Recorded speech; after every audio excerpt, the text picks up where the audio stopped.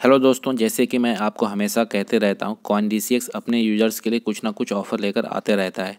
तो इस बार भी कॉइन डी अपने यूज़र्स के लिए एक नया ऑफ़र लेकर आया है और इस ऑफ़र का नाम है क्रिप्टो लिस्टिंग फेस्टिवल तो दोस्तों, आज इस वीडियो में मैं आपको क्रिप्टो लिस्टिंग फेस्टिवल के बारे में बताऊँगा। दोस्तों, सबसे पहले तो आपका स्वागत है डिजिटॉक में। दोस्तों coin D crypto listing festival के बारे में बताने से पहले दो इंपॉर्टेंट बात कहनी थी जो पिछला कॉइन डी के क्विज से रिलेटेड है।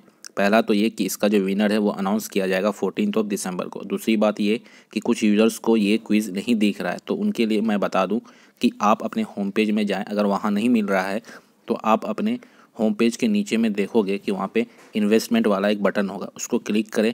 उसके बाद आपका पोर्टफोलियो ओपन होगा और पोर्टफोलियो में जहाँ पे आपका टोटल जो इन्वेस्टमेंट रिटर्न और परसेंटेज गेन लॉस दिखाता है, वहीं उसके नीचे में आपको वो क्विज़ दिखेगा। वहाँ भी अगर नहीं दिख रहा है तो फिर आप जो है कस्टमर केयर से बात करें या फिर ऐप को अपडेट करें।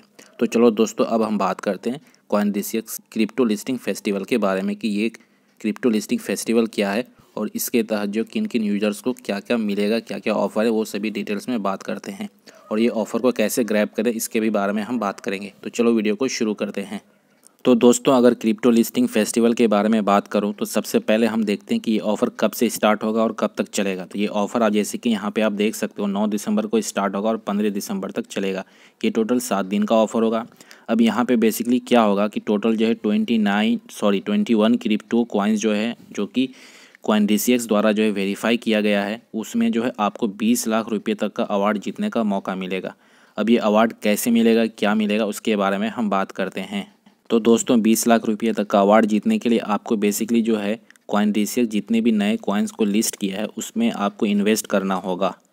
अब ये कितना इन्वेस्ट करना होगा किन किन कॉइन्स में इन्वेस्ट करना होगा, ये सभी डिटेल्स कॉइन डी अभी तक नहीं बताया है, या फिर कितने दिनों तक होल्ड करना होगा, इन सभी डिटेल्स को कॉइन डी कह रहा है कि आपको इन सभी चीज़ के लिए बेसिकली आपको तीन चीज़ करना होगा।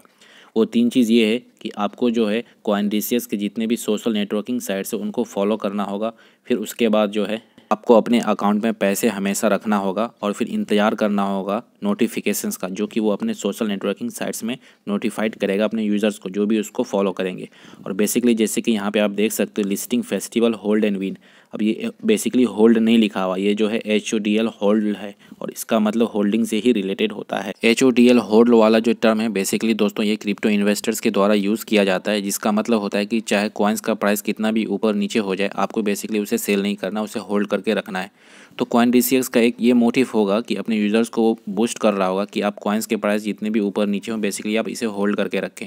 मार्केट को देख के तुरंत सेल या बाय नहीं करें। बेसिकली जो भी कॉइन्स आप खरीद रहे हो, उसको लॉन्ग टर्म के लिए होल्ड करें। तो उम्मीद करता हूँ दोस्तों ये वीडियो अच्छा लगा होगा। अगर अच्छा लगा है तो उसे लाइक कीजिए शेयर कीजिए और चैनल को अभी तक सब्सक्राइब नहीं किया तो please subscribe Digitalk for more videos thank you